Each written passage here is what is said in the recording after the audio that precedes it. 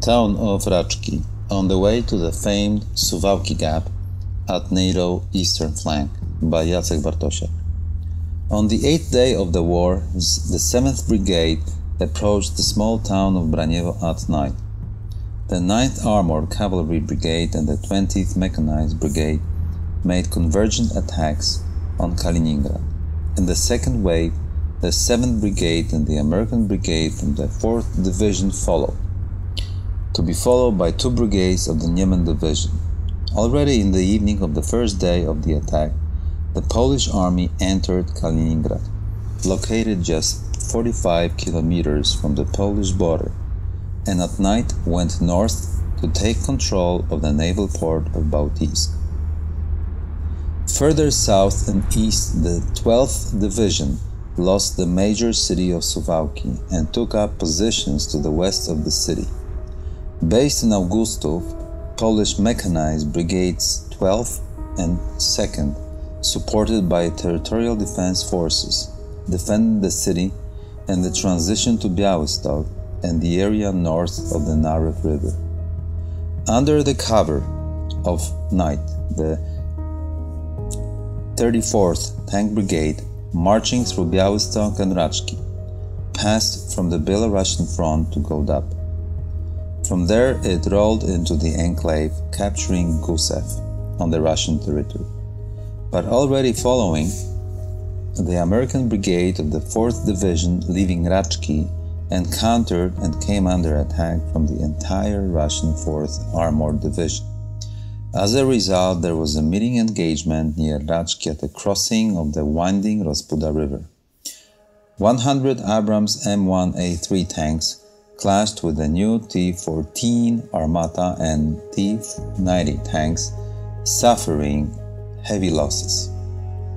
The battle took place on both sides of the S61 highway, where there are no limitations of the horizon and great conditions for dynamic tank combat. Forest cover being rare and the terrain slightly undulating. The fight was underway for bridges on the Rospuda River, which the Russians wanted to capture, when from the right came a flanking movement of the entire Polish attack on Gusev in the Kaliningrad Oblast. From here, there was a great tank battle. The former palace of the Pats family in Raczki and two bridges changed hands several times. The Rospuda River protected the right wing of the Polish army's movement to seize Kaliningrad, so it had to be defended at all costs. After a few hours, the 10th Tank Cavalry Brigade, following the Americans, also entered the fight, when after reaching outskirts of Raczki and crossing the bridges on the Rospuda River, they made a full head-on assault on Suwałki, pushing north the Russian 4th Armored Division that after sustaining heavy losses retreated towards Lithuania via Szypliszki. Several hundred tanks took part in the Battle of Raczki on the Rospuda on both sides and it was the largest tank battle in Europe after World War II. This is how I described in the book Poland Between Land and Sea on War and Peace a hypothetical tank battle in early autumn of 2027 for the crossing of the Rospuda River in the small town of Raczki on the way to the famed Suwałki Gap at the NATO vulnerable eastern flank. This happened for a reason. The town of Rachki is located between Suwałki and Augustów, just between the Biebrza vast swamps and the Augustów primeval forests on the way to the Suwałki Gap on the Rospuda River flowing through a narrow, heavily wooded riverbed. Therefore, it is extremely difficult to cross the river without regular bridges and road departures. Actually, there is no way to quickly prepare a pontoon bridge for heavier equipment. At the same time, Raczki blocks the approach deep into Poland and further movement in the opposite direction to the Suwałki Gap, Baltic states, and northward to the Kaliningrad district. Only the town of Bakałarzewo, a bit of northwest of Raczki, can perform a similar function, although not entirely the same. Both are bolting places in the event of war with Russia to control the Suwałki Gap. For this very reason, the Polish army and NATO troops should constantly exercise maneuver and actions in the vicinity of Raczki and Rospuda, so as to know the regularity of the terrain virtually by heart.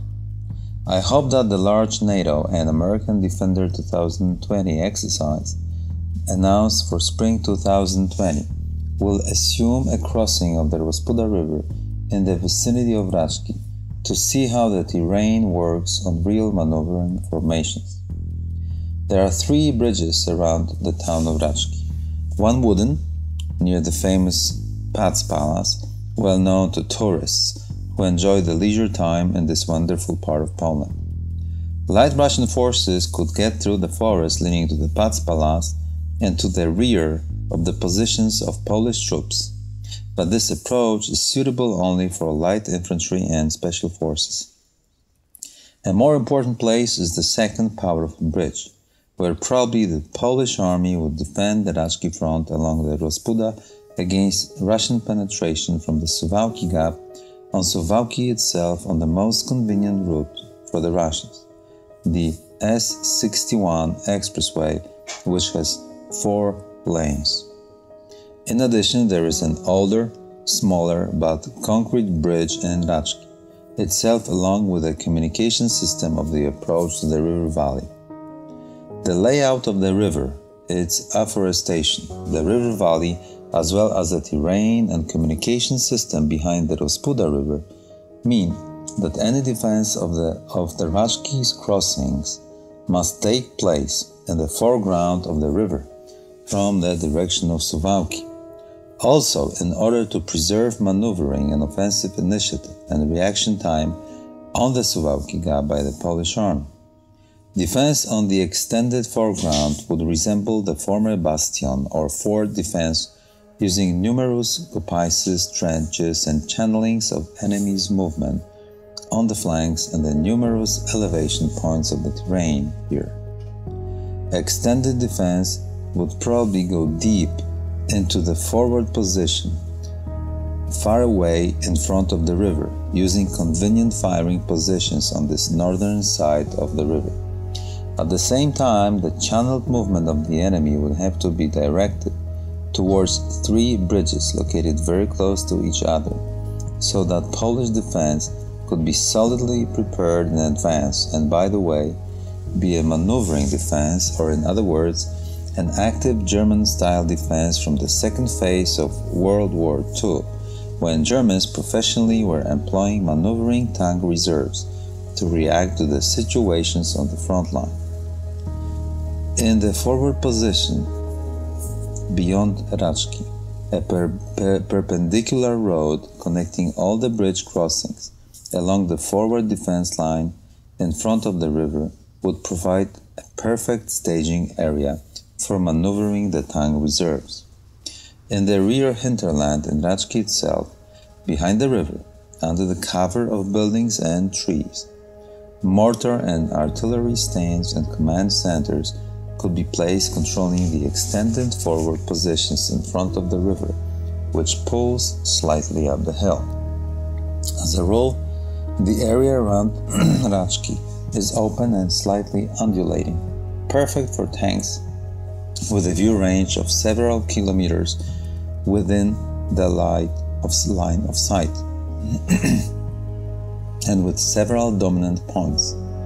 For example, the wedding house or viaducts built by the expressway for the movement of animals, which in the meantime have become overgrown with bushes and tower over the surroundings, constituting a great firing point overseeing traffic on all bridges. It is easy, therefore, to prepare a defense projecting deep inside with infantry protecting Polish flanks on a forced, narrow front.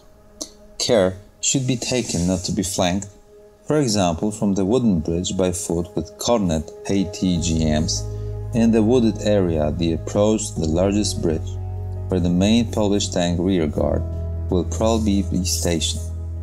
Tactical UAVs on the approaches reporting on the Russian maneuver will play an important role, and Polish defense positions will be subject to Russian UAV viewing and on the other hand. The fight for a situational awareness system at the tactical level will be of great importance here on such a strongly narrowed front. It is worth seeing with your own eyes what this all looks like on the ground. It is just a three hours drive from Warsaw. There are places less and more important in the world and in the Intermarium. A small town of Raczki on the Rospuda River is very important indeed.